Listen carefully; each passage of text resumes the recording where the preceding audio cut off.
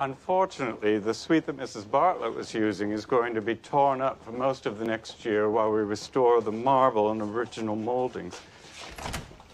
We're hoping that this suite will meet with Miss Santos' approval. Nice.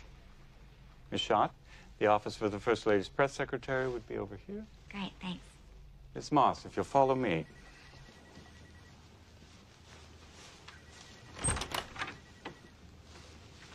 We're hoping this will meet with your approval. Oh, it's lovely.